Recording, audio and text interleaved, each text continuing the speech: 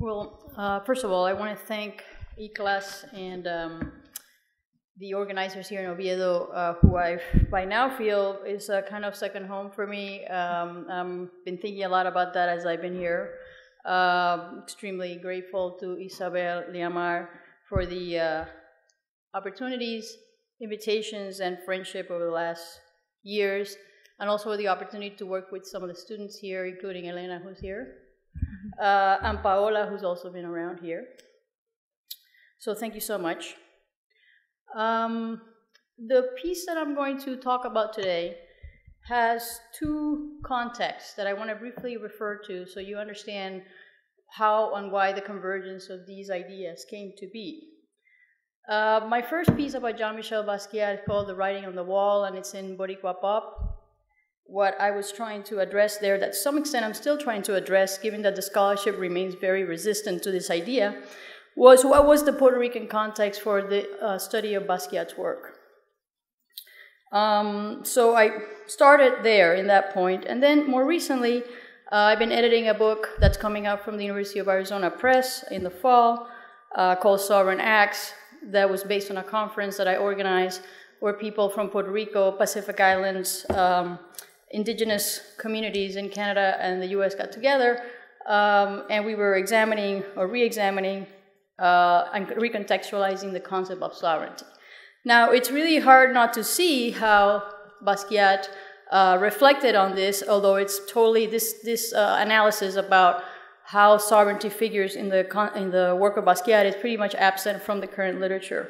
So, in a way, this, this uh, essay is trying to uh, bring those two points of reflection together. So, uh, King of the Line starts with two epigraphs one from Robert Farris Thompson that says, From the subway crown motif, King of the Line is always there.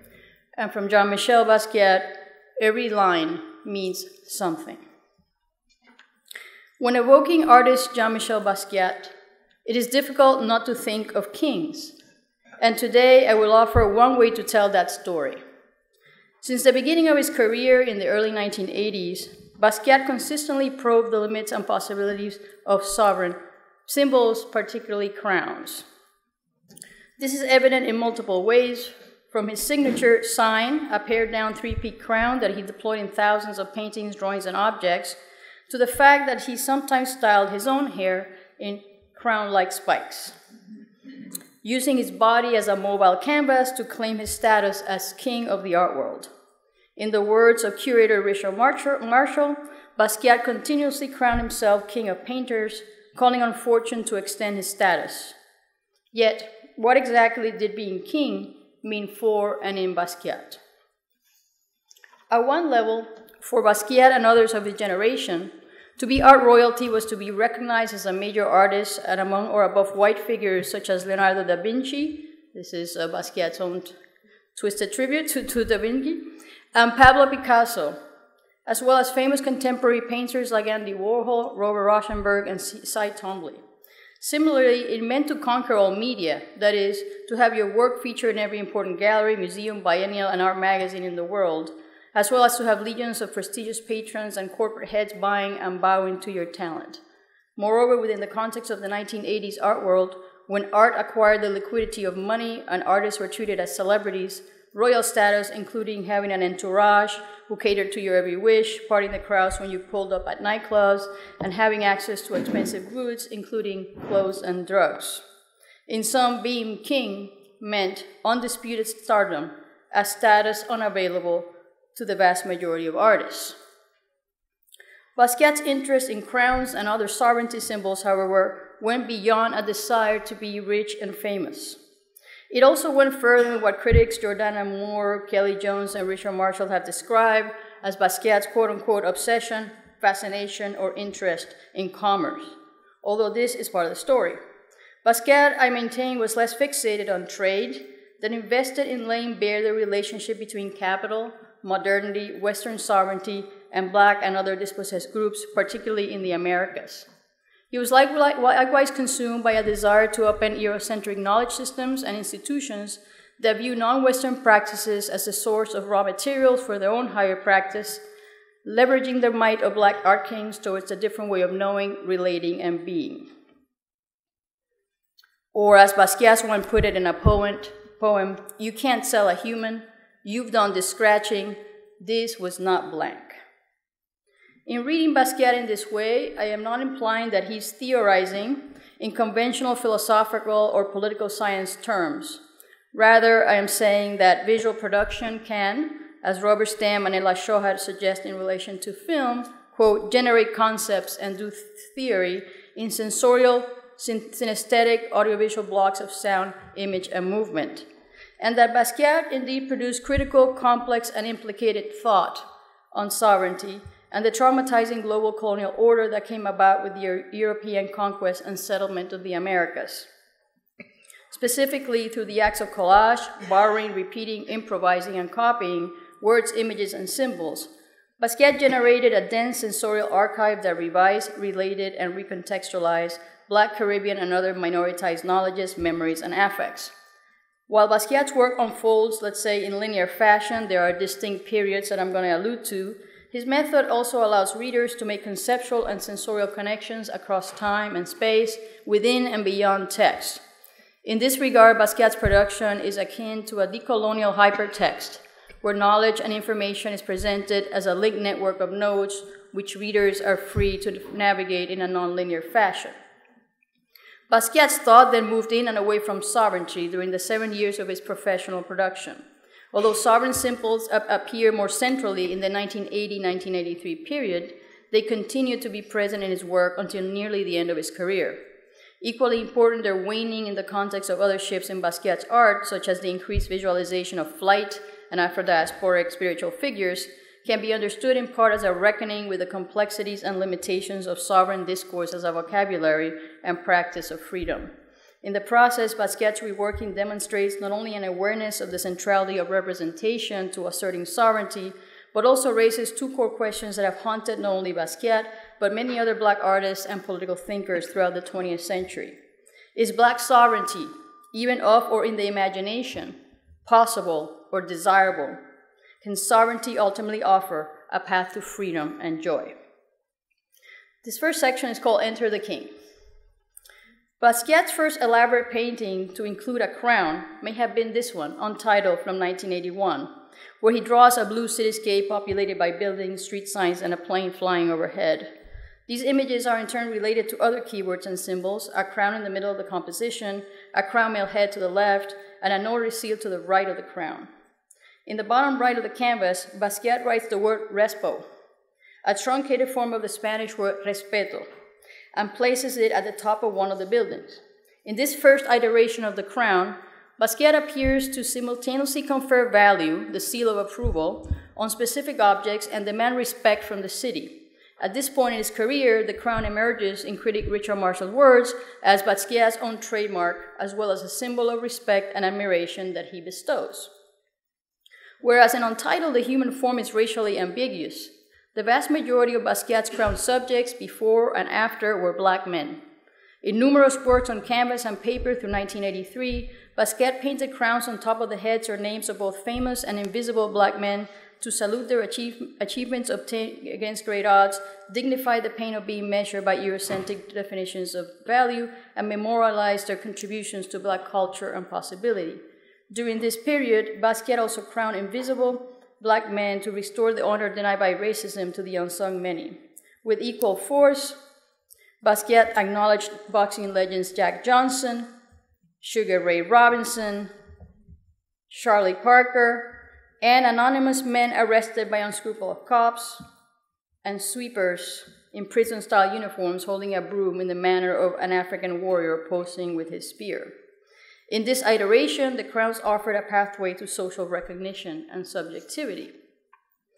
The visual act of crowning, however, not only confers worth, it is also a sovereign act in itself, as it directs the viewer's gaze to the subject's upper bodies, particularly their heads. While Basquiat has called his portrayal of faces instinctual, and journalists like Cathleen McGuigan have related them to the early influence of Picasso, his, intention, his attention to heads is neither arbitrary nor conceptually resemble Picasso's. As scholar Simon Gikandi has argued, Picasso viewed African art objects, including sculpted heads and masks, as means or raw material to modernize European painting rather than as a form of engagement with Black bodies, histories, or aesthetics. This is, of course, a paradigmatic example. In contrast, the century of the crown heads in Basquiat's work positions Black subjects on higher ground, moving them away from visual representations that locate them in subordinate or subservient positions in relation to other figures, objects, or aesthetic traditions. Consistently, Basquiat envisions black heads as site of black spiritual power, intellect, and beauty. And this is a piece called Flexible.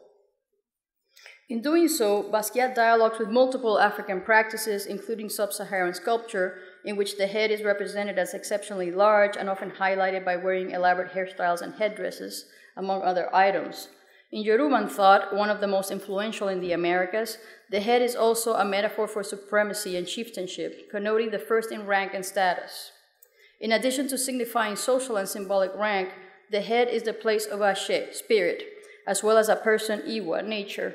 Consistently, the head is thought to be uh, composed of an exterior appearance and inner qualities, the latter being the most essential, as it stands over, rules, guides, and controls a person's actions. The importance of the head is similarly evident in Afro-diasporic arts and religious practices such as the Haitian voodoo concept of Metet, literally the master of the head. Within voodoo, every person is born with a Metet, the master spirit that is particular to each individual and serves as his or her guardian angel. The head is also the seat of Bodum power, where a Bodum spirit rests when it enters the body during possession, as Susan Preston has noted. Equally important, service to the Metet is the form of offerings, prayer, and other rituals is assumed to make humans stronger, his or her magic better and more effective, thus endowing him with greater power. Closer to home, the crown also invokes spatialized social struggles in New York. Given Basquiat's roots in graffiti, his first artistic setting, he was likely aware of the use of crowns to signify status, identity, and power by individuals and gangs. During this time, graffitis also competed for the title of king of specific subway lines and other spaces. The one that had the most visible tags or was up the longest at any given moment was recognized as king of the line, until inevitably he or she would be knocked off by another more prolific or visible writer. In the words of a graffiti is called Fox, he says, I can't rest a day, go to the beach, because some other gonna get ahead of me. They want to be king like they know I am. Moreover, when a graffiti writer becomes famous, another recognizes tag, a crown could appear next to a tag to signify this status. The trope of crowning is similarly present in broader Afro-diasporic cultural practice, where sports figures, singers, and other artists often claim royal titles to both connote their superior abilities and challenge racial and gender hierarchies. Among the many examples in the jazz world alone, a fundamental site for Basquiat's thought are Count Basie, Lady Day, and Duke Ellington. The competition of wall writing, the elevation of black artists, and the recognition of racially and socially expendable people similarly evokes and enacts what literary theorist Mikhail Bakhtin once called the carnivalesque. As Bakhtin suggested, in European carnival, not only do people in the lower social rungs represent themselves as royalty, and real royalty is made fun of, but also social and political life itself is represented as a perpetual crowning and uncrowning. In the Caribbean carnival context, the crowning of low status subjects is present in the practice of playing royal, a masquerading technique that highlights how every person can be as regal as kings and queens who are ultimately viewed as ordinary people. The crowns then have the effect of redefining what nobility is and how and by whom this status is confirmed. Through crowning, Basquiat redefined mobility as, I quote, a figure of speech that could be bestowed or gained by Black artistic imagination. Within and across text, the crown functions as a metaphor, in scholar Mark Rifkin's sense of redescribing reality, disoriented current modes of description and classification. Given its multiple associations, then, it is not surprising that Basquiat also deployed crowns to connote his own worth in the art world. Sovereign discourse and acts were an accessible idiom to signify a desire to be seen as great, and establish genealogies that secure one's place as a legitimate successor in a line of art kings. As Greg Tate has observed, for Basquiat, making it meant going down in history, ranked beside the great white fathers of Western painting in the eyes of the major critics, museum curators, and art historians who ultimately determine such things. A self referential example is Red Kings, a painting that comprises two crowned and simply drawn uh, faces against a red background. Within the eyes, nose, and mouth of the face to the left, the letters B, Q, and S are drawn, suggesting that the image may refer to Basquiat himself. On the right, there is a second crowned face, which has been read by some critics as reimagining a drawing by Picasso titled Self Portrait Mougins. If this second figure can be viewed as referencing Picasso, that's Picasso's piece, the text implies that Basquiat is as great as king of the art world as the Spanish master.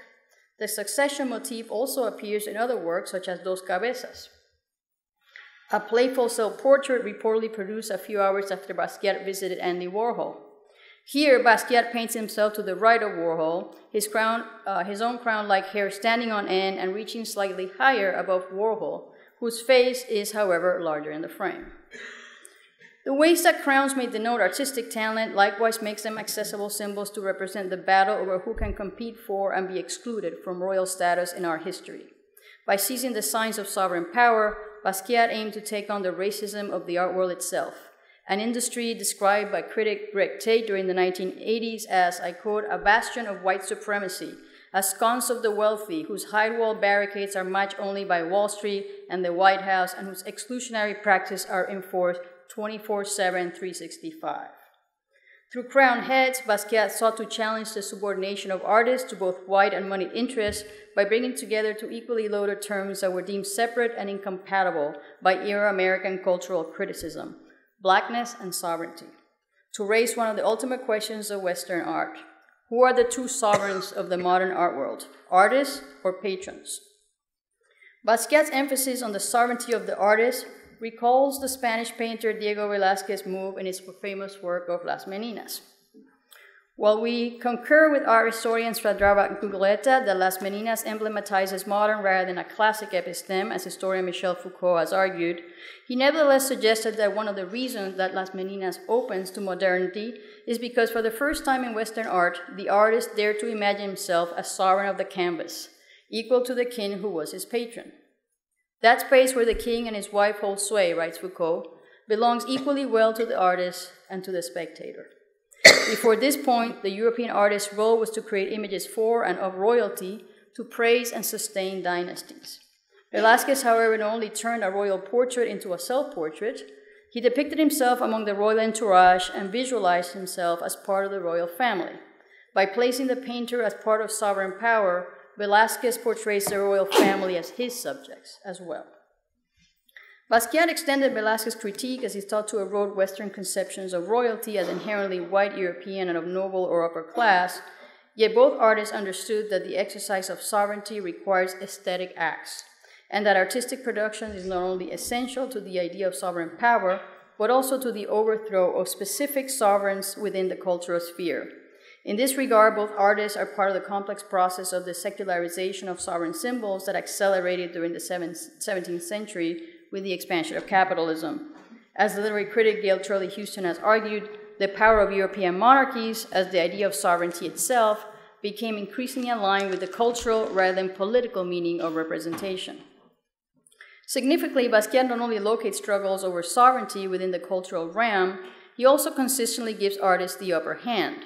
This reminds of a cultural critics Dick Hebdige's observation that Basquiat wanted to play his part in the restoration of the canvas king, whose authority and privileged truth claims had been seriously eroded by two decades of art theory and practice. This may also account for why in Basquiat's paintings very few of the real kings, rulers, or military leaders, such as Napoleon, Mussolini, or even Haitian revolutionary hero Toussaint Louverture, are visualized as wearing crowns. Overall, the crown rarely represents actual sovereigns, mere heads of state. Um, Basquiat's sovereign acts are never made on behalf of states or nations. Instead, the crowns recognize those who are accomplished kings of imagination and connote the creative act of imagining oneself as sovereign, having a big head. This distinction may also partly explain why, in contrast to the crowns of actual monarchs, which are generally very elaborate, adorned with precious stones and other, other symbols of rank and power, Basquiat's own are abstract and copywriting, copyrighted, suggesting that modern sovereignty has more to do with commodified representation than state power, and that ideas are more important than physical property. At the same time, the crown and other sovereign symbols refer to struggles beyond the art world.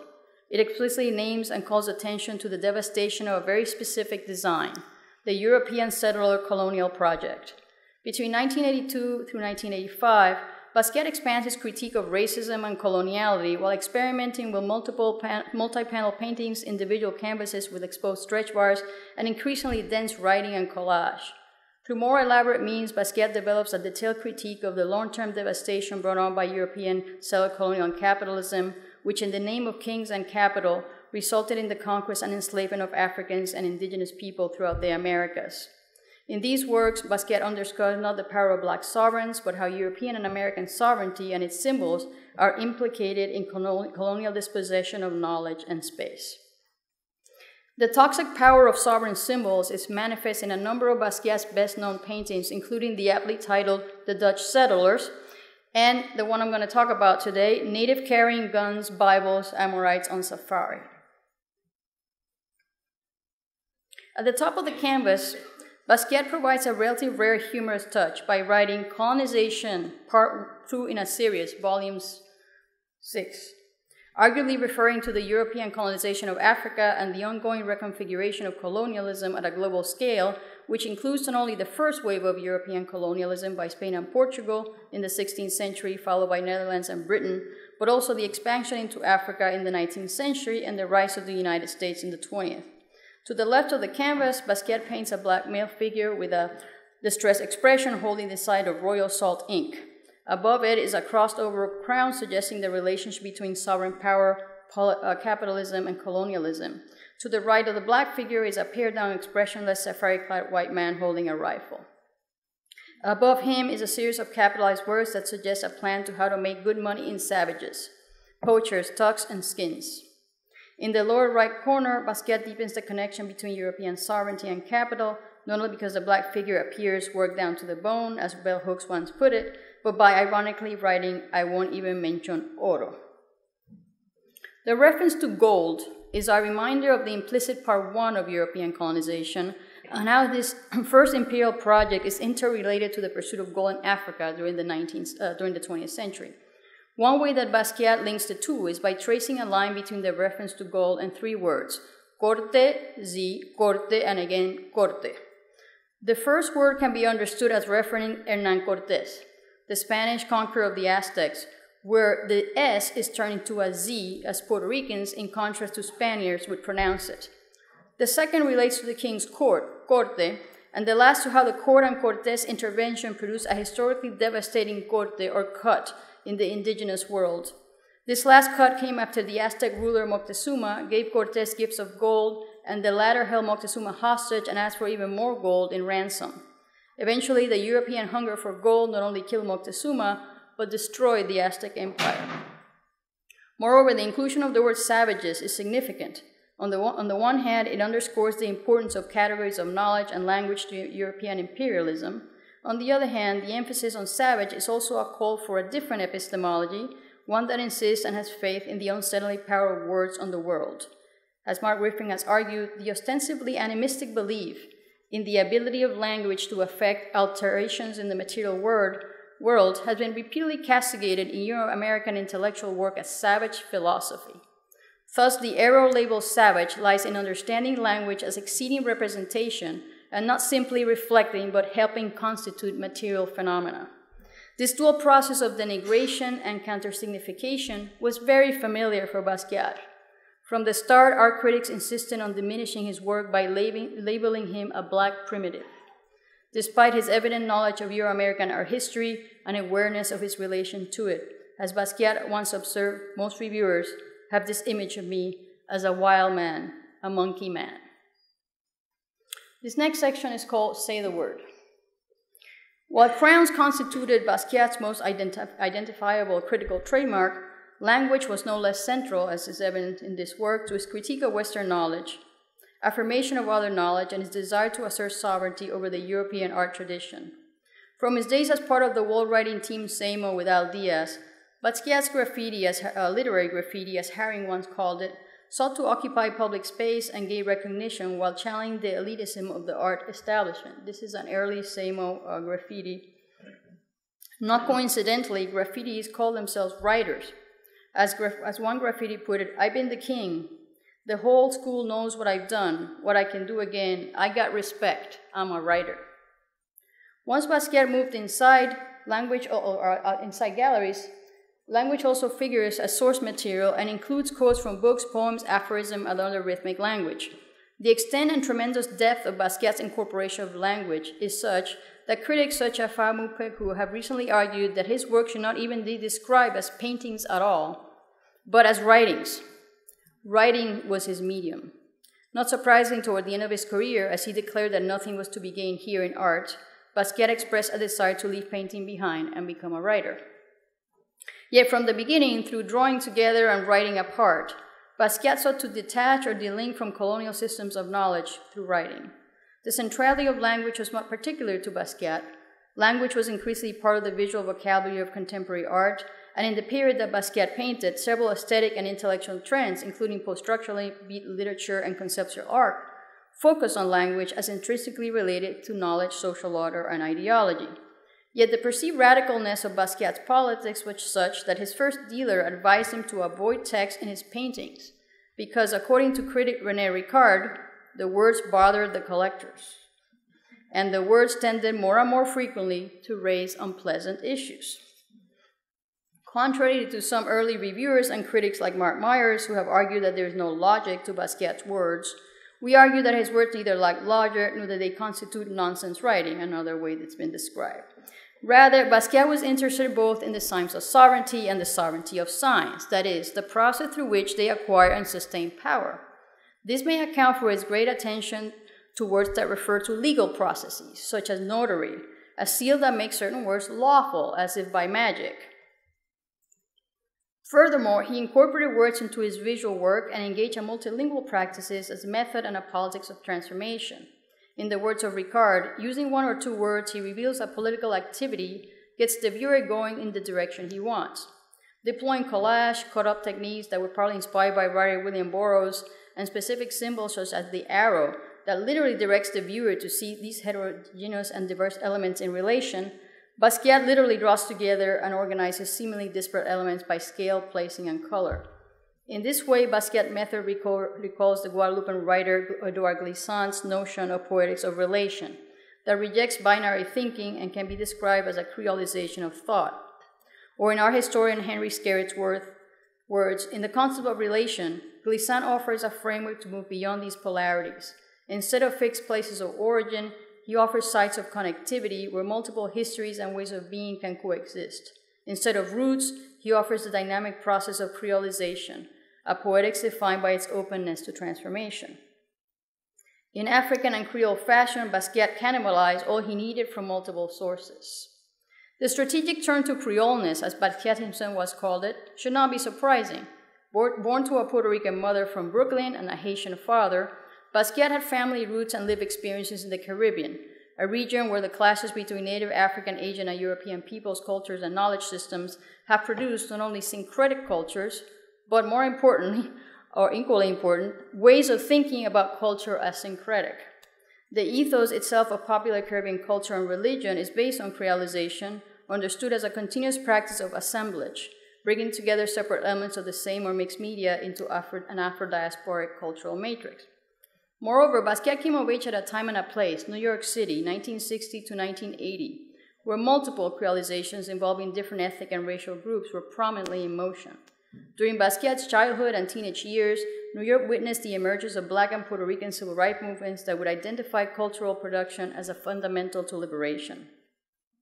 Importantly, the struggles of these years, as exemplified by groups like the Young Lords and Real Great Society, were organized as much around basic survival issues such as affordable housing and access to employment as around new ways to understand, represent, and narrate the self and collective history outside colonial conceptions. Basquiat's generation was the first to read Black history comic books and other alternative popular reading materials, and from childhood watched political figures such as Malcolm X and Martin Luther King speak on television in the context of broader Native, Latino, and Black civil rights movements. On the street, this generation danced to James Brown, I'm Black and I'm Proud, Joe Cuba's Boogaloo fusion, as well as disco and funk. In addition, they actively participated in the creation of early Nuyorican poetry, Afro diasporic spoken word and hip hop, cultural forms that also critique racism and coloniality, and were themselves invested and grounded in notions of empowerment via the word. Not coincidentally, in the early 1980s, the idiom word carried similar connotations as the Yoruban concept of ashe. When one agreed with someone or when someone did something supreme, our historian Jasmine Ramirez recalled, you praise them by saying word. Even further in Haitian voodoo, a subtle but evident source in Basquiat work, words and other symbols are thought to bring new realities into being and unleash powerful forces into the world. The premises that words and in some ways magical is deeply ingrained in African, Afro-diasporic knowledge systems and popular Christianity. This is particularly evident in transformative practices, that is, acts and rituals in which the right word, the right setting, the right movement, and especially the right attitude may mobilize supernatural forces in order to affect life. Similar, this is present in the previously mentioned concept of ashe, which refers to the power of the word to make things happen, enable change, and bring balance to the world. Finally, Basquiat evoked the process of not only writing but erasure of stories, knowledge, and people through the self described practice of scratching on these things, as he said, crossing out, smudging, and painting over letters. He also repeated words, numbers, and symbols, a practice found in voodoo that recalls artist, uh, art critic Beauvoir Dominique's observation that of special importance is the spellbinding mastery of sequence and number, counting, literally tra- translated as control, control in Creole, lines, struck, numerology, alphabet, gibberish, aesthetics of sign and symbol, circle, square, alphabet, and number, elements of order, the fact of writing more important than what is actually written. In this way, Basquiat suggests that learning how to read and work with signs is a fundamental survival skill for Blacks, Latinos, and other dispossessed groups. Apart from crossing out words, Basquiat often refused spelling conventions, including in works such as Flats Fix, which pays tribute to working class Brooklyn. A black and white drawing, it features a thin, irregular tire above capital letters that reads Flats Fix, rather than the grammatically correct Flats Fixed. This in turn can be understood as part of a larger critique of the homogenizing goal of Western knowledge system to the extent, that the rejection of language standardization is also a refusal to privilege the institutions, groups, and interests of the powerful. This reminds us of curator Donald Cosentino's generic question in relation to the lack of standardization of Haitian Creole. In the rendering of a given word, which history is empowered and which is obscured? Whose pronunciation is privileged? What are the politics of naturalization? Moreover, Basquiat frequently invoked US minoritized languages and cultural codes to challenge the Western project of homogenizing and eliminating epistemological difference. In the works of Robert Farris Thompson, Jean Michel gracefully embodied the power to deal with history and facts in several languages.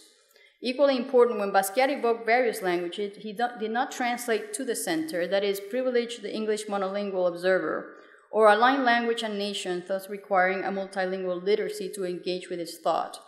This recalls Al Diaz's comment that some things can get translated. Bilingualism was the way to see that opened up artistic possibilities and new meanings. Fittingly, this was part of street practices such as graffiti, which featured thickly drawn abbreviated note names, text, and numbers in English and Spanish, and a broader black aesthetic, in which, as Hebdige has written, duplicity, doubleness, and undecidedness are divested of the negative connotations attached to them in Western culture.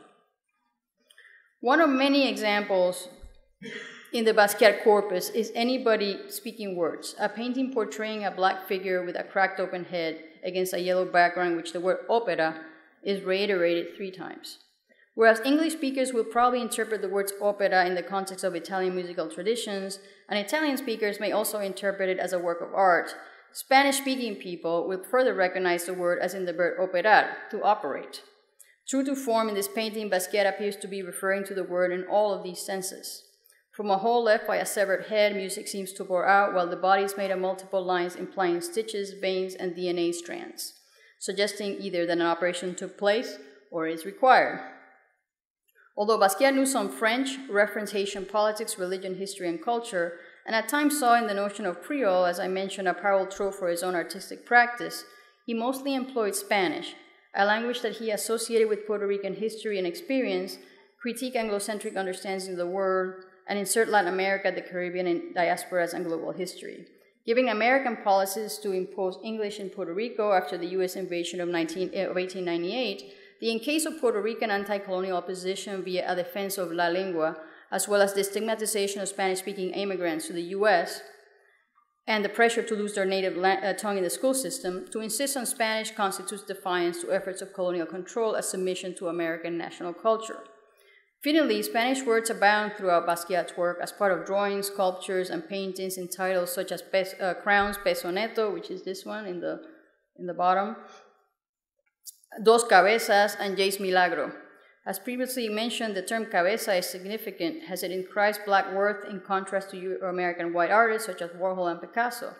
Basquiat's extensive use of the word negro may also be understood to simultaneously refer to a pre-civil rights era where the devaluation of the enslaved Africans and their descendants were sanctioned by law, and to the ambivalent way as a potential term of both endearment and depreciation that it's used among Puerto Ricans. Furthermore, Puerto Rican and other Latin American vernacular terms such as gringo which explicitly imply distance from American white identity and US actions in the global stage, similarly make repeat appearances in works such as Gringo Pilot and Enola Gay. In this early painting, Basquiat references Paul Tibbets' pilot of the Enola Gay, the plane that carried one of the two atomic bombs dropped on Japan, acknowledges his fame by writing Respeto Mundial, world respect, but significantly does not crown him. Furthermore, the juxtaposition of English and Spanish serves to highlight commonalities and differences in the Black experience in the Americas, and encase a specific Afro Latino perspective. An example is Cassius Clay, a painting referencing the boxing champ Muhammad Ali, featuring a mask like head against a green background framed by various words in Spanish pelo malo, bad hair, rompecabeza, literally headbreaker, but also puzzle, campeón de boxeo, boxing champ, they cite and above names in English such as Cassius Clay and Floyd Patterson. Basquiat's writing that, uh, then has much in common with Nuyorican poetry as a method where our poets use Spanglish to challenge the hegemony of English and Anglophone culture and pressured it to convey the experience, expressions, and history of Afro-Latinos. Basquiat's Spanish also signified a way to connote an outsider status in relation to American culture hegemony and inscribe specific Puerto Rican structures of feeling. As Farris Thompson adds, Basquiat switched to Spanish whenever he wanted to make a covert point or camouflage a question, and even to establish the terms of social and economic negotiation. According to Farris Thompson, one day in the summer of 1986, a friend who spoke Spanish appeared at his door in the company of a rich and famous woman. I was there and watched them walk around. Suddenly, the woman asked, point blank, How much is that painting over there? Jean Michel, in a whisper to his friend, Para ti o para ella? For you or for her? Meaning high price for a stranger, low price, or even no price for a friend. In this regard, curator Kelly Jones' assessment that Basquiat used Spanish to primarily refer to the intimate and feminine, including family, food, and community, the Spanish speaking world, and the realm of the mother, is not altogether accurate. While Basquiat did draw on Spanish to reference a range of intimate practices and memories, cooking in a piece called Arroz con Pollo, and family figures, Abuelita, which is probably one of my favorite of Basquiat's pieces. He most often referred to political figures, conquistadors like Hernan Cortes, Puerto Rican politician Luis Muñoz Rivera, as well as terms associated with capitalism, peso neto, slavery, racism, and colonialism, that they specifically experienced in Latin America and the Caribbean, gringo, negro, pelo malo. His own deployment of Spanish in order to separate friend or foe further exemplified this deeply political charge for, for Basquiat. Ultimately, to speak from Spanish and other minoritized languages was a means to critique the sovereignty of English, Euro American cultural frames, and the marginalization of Afro Latinos and Francophone blacks in the United States and elsewhere. In this way, he was the heir to the Afro Puerto Rican historian Arturo Alfonso Schomburg, who similarly used Afro Latino history to complicate Afrocentric narratives on blackness and built on the Afro Latino thought of the 1970s, which articulate a critique of capital and imperialism in a global context. His practice thus recalls Henry Louis Gates' well known argument of signifying as a method to critique the nature of white meaning itself, to challenge through a literal critique of the meaning of meaning. So this last section is called Sovereign. Five more minutes. Five more minutes. Okay, sovereign impossible. So undoubtedly, Basquiat's use of words and crowns constituted a paravisual language of contestation. Yet it's clear from the beginning that he also has ambivalences. about the reach of this language.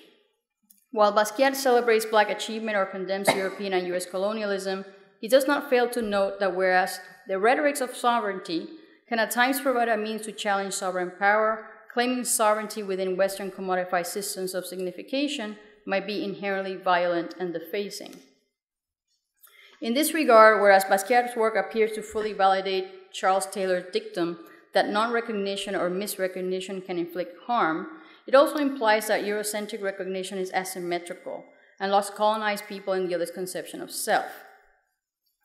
There's perhaps no better example of this conundrum than Basquiat's heartbreaking painting, Irony of a Negro Policeman, in which he draws a figure of a black officer wearing a badge shaped like a crown on the left side of the chest. To the right of the officer, and in downward motion, Basquiat writes the words irony, irony of a Negro policeman, and pawn. The officer's hollow features and severed of his right arm and leg suggest that the officer has been zombified by his desire for a piece of sovereign power. In addition to the quandary of recognition, Basquiat made explicit reference to the obstacles to national sovereign projects for Caribbean polities and Afro diasporic people. This should not be uh, surprising given his family history in three places where very vexed history of sovereignty Haiti, Puerto Rico, and the United States. A key and rarely discussed work that directly um, challenges sovereignty in the Caribbean is the densely drawn 50 Cent. Now, if you look at this, you will spend the rest of your life trying to figure this out. Uh, I am only going to talk about a couple of things here. Uh, Basquiat evokes three Caribbean contexts in this piece Haiti, Puerto Rico, and Jamaica and their diasporas. And the, some of the ways that he does this is by mentioning the names of leading political figures from each country Francois Duvalier, Louverture, and the most the harder to decipher, Luis Muñoz Rivera, because it has a lot of crossed out. Uh, it's over there, Luis Muñoz Rivera, hard to read.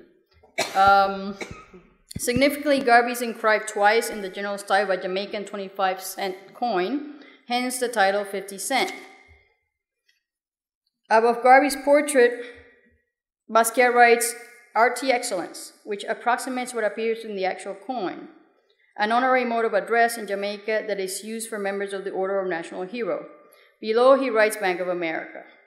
Garvey's visualization as a coin is richly suggestive, but it simultaneously calls attention to multiple and contradictory phenomena. On the one hand, the coin underscores Garvey's importance to Jamaican state discourse as one of the country's first declared national heroes, even if he migrated to the United States, led a Back to Africa movement, was deported from the US to Jamaica, and died in London, I quote, alone, broke, and unpopular, according to a premature obituary that supposedly when he read it, he died. Uh, on the other hand, Basquiat's visualization of Garvey as a coin accentuates the relationship between sovereignty and capital. The contradictory project of black valorization through commodification, the challenges of Caribbean economic viability within global capitalism, and the limits of black fame. Basquiat, however, explicitly links the Caribbean sovereign troubles to the sovereign violence of the United States.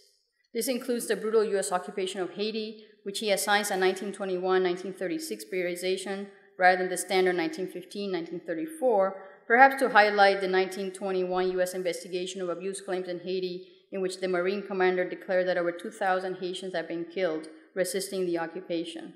He similarly invokes Operation Bootstrap, the name given to Puerto Rico's US led economic mobilization plan that triggered the mass migration of thousands of Puerto Ricans to cities such as New York as cheap labor, and Garvey's own movement back to Africa. Now I have one minute left. So um, despite the so I will I will wrap up. So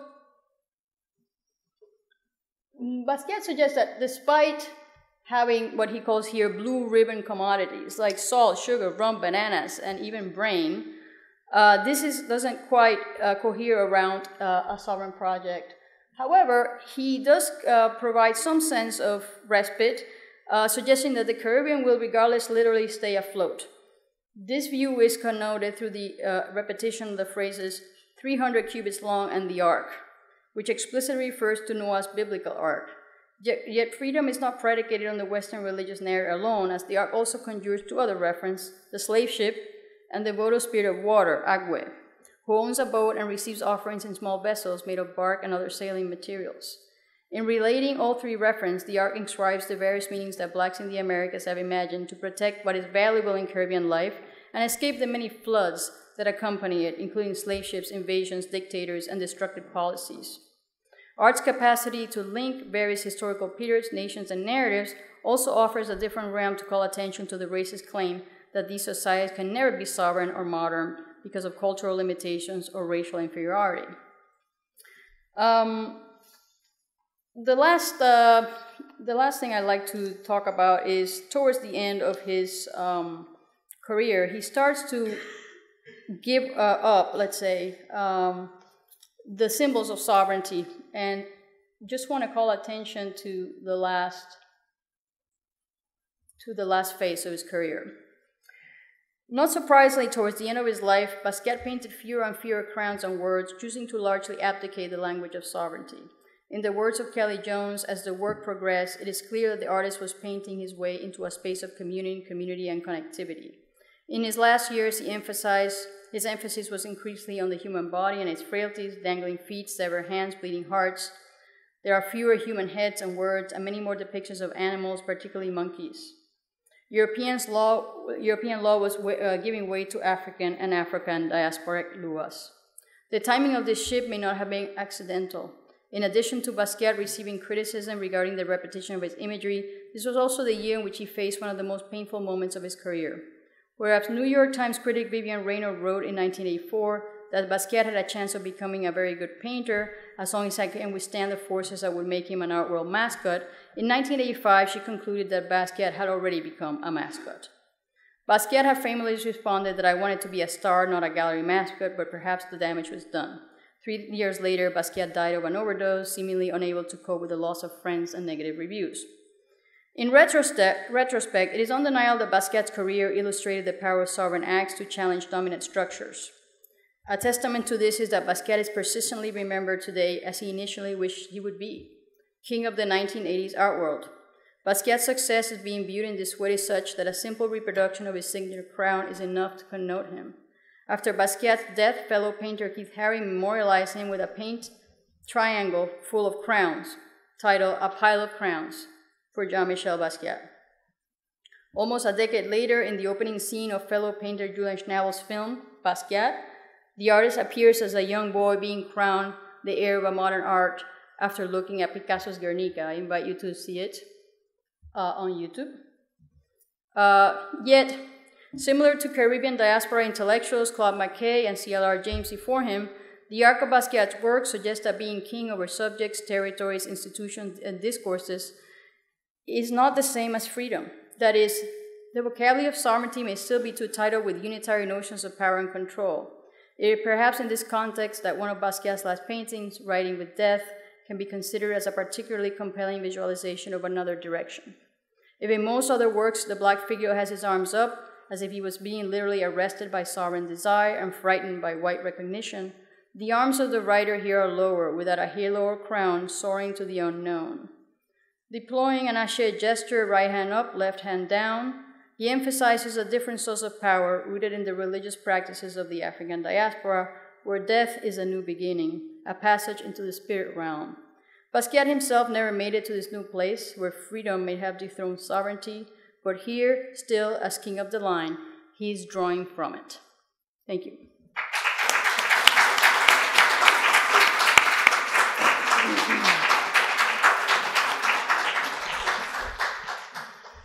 Okay, thank you very much, Frances. Uh, I know we are a little bit late and the, the, panels are starting, but I think we have like five minutes to, for questions if you would like to to ask some. Uh,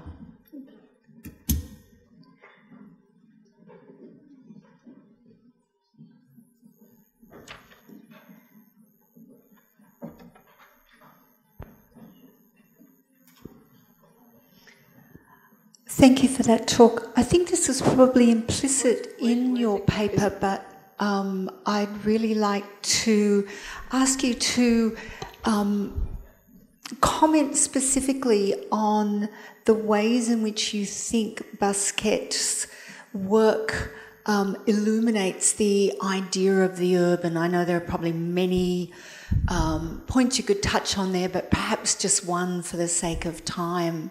Um, and in relation to performance if you're able. Thank you. I mean, there's a lot we can say about that. Um, I think the most uh, the most obvious that's connoted or referenced um, in the piece as it is now is his origins as a graffitiist. Uh, now, as we know, Basquiat was uh, from a middle class background um, by and large, uh, so he was, um, you know, practicing graffiti of a certain kind. Uh, so, for instance, Basquiat wasn't so much uh, writing his graffiti in areas where his, let's say, peers of working class Brooklyn could see it. He was writing graffiti along the corridors of art establishment um, spaces where people could see, people who made decisions about art could see it. Uh, so in that regard, he was definitely trying to call attention to this audience to his work, uh, but also challenge the, the larger infrastructure and, and, and assumptions about the art world more generally. Uh, so I would say that from from from the moment that he draws his first line in public, uh, he's engaging with uh, spatiality of the city of New York and particularly the the corridors of power of the city of New York. Um, of course, in in uh, in his own trajectory, there are many more connections even before that point. Uh, for instance, um, his his mother, who was a, a Brooklyn-born Puerto Rican of immigrant parents would also um, take him through museums in New York. Uh, so the whole resources of their urban space of a, of a global capital city like New York were available to him as a child. Uh, so we say that the city informs, and it's one of the earliest thematics of his work as well. So it informs his entire training as an artist, which he, he didn't even graduate high school. He left high school before graduating. He didn't go to college. So we say that his entire education as an artist pretty much happened in the city.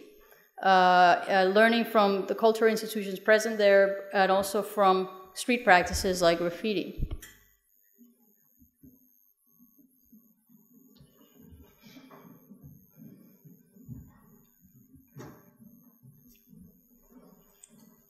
Thank you for your wonderful talk. I enjoyed it a lot. And my question is very uh, specific, and because it surprised me, the painting of um, Cassius Clay that he used Cassius Clay instead of Muhammad Ali. Uh, uh, and because every line matters, I'd like to, has a meaning, I'd like right. you to, what do you get from there? I mean, I think, um, well, there's a lot of things that happen uh, with Basquiat and words that uh, one of them is that he he might bring up, uh, uh, let's say, Cassius Clay instead of Muhammad Ali, which immediately calls attention to uh, so-called uh, naming practices, slave naming practices, self-naming practices. Um, so I would say that that just that mention in that context re refers to a number of things: temporality of the of the work, like when, when what's the moment that he's uh, talking about, uh, and it's also immediately a, a space, a site where you start thinking about oh, but Cassius Clay, that's exactly your question, became Muhammad Ali by his own practices of self-identification, uh, which is in a way, I think, methodologically what he's doing in the in the entire piece, uh, which is bringing a multiplicity of ways of redescribing uh, uh, a subject that is normally described another way in another language with other terms. Um, so yeah, I mean, I think uh, in, in that regard, you know, you, one of the things I try to say at the beginning is that in a Basquiat painting, precisely, you have a multiplicity of ways of relating what is happening because it's not a linear construction. Uh, so therefore, you can opt to relate Cassius Clay to Pelo Malo, for instance, and you reach a certain place, or you might relate Cassius Clay to Patterson and reach a different place, uh, you know, of signification. Uh, so in my my reading, I mean, I didn't dwell on that particularly because I was more interested in, in the Spanish language word. But to me, it's to say Cassius Clay versus to say Muhammad Ali is to call attention to a process of uh, naming that is a, a work, I think, in the whole piece.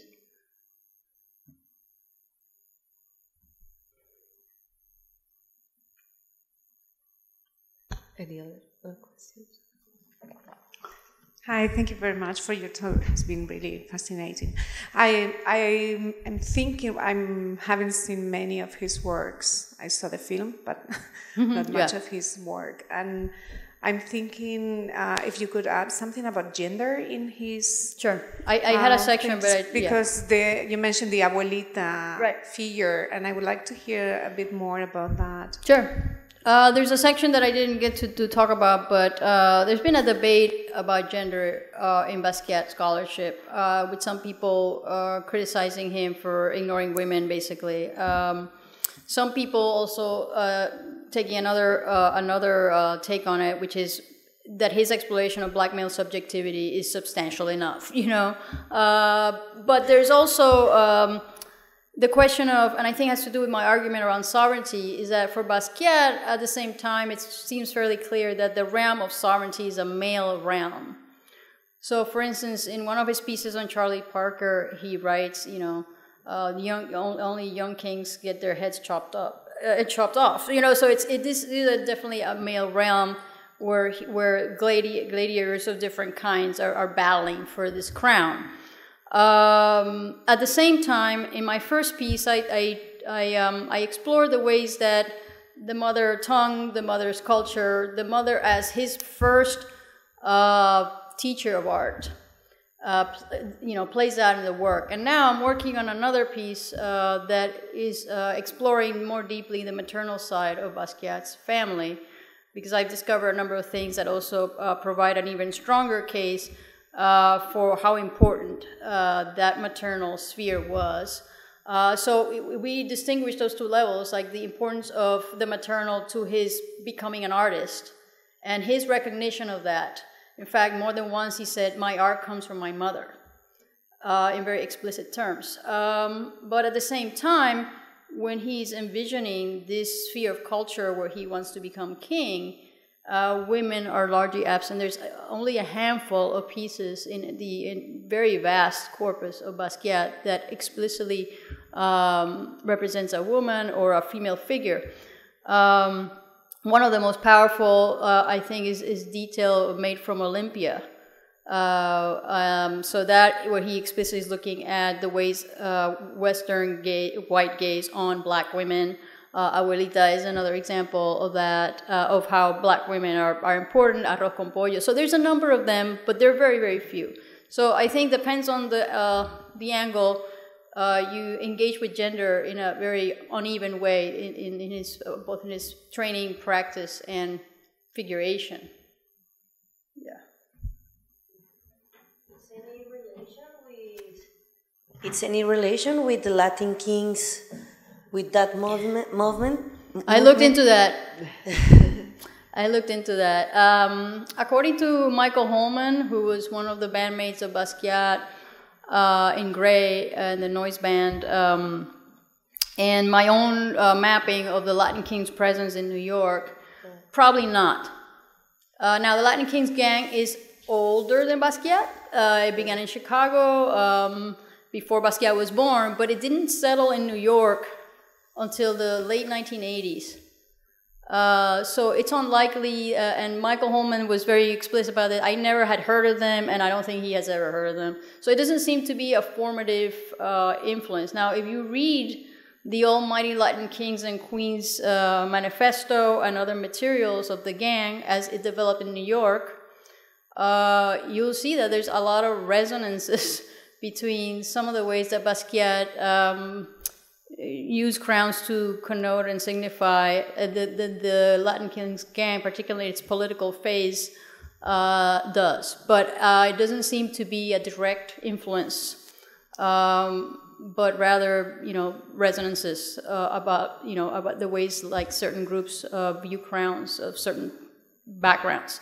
Um, so yeah, I would say that after looking at it pretty deeply, I would I reached the conclusion that it did not seem to be a formative influence, but certainly you can make comparisons and see certain convergences between the two. Okay, thank you very much. I think we have to leave it here because people are moving to the sure. to the panels, but Frances is going to be around. And thank you so much. So thank you. Thank you.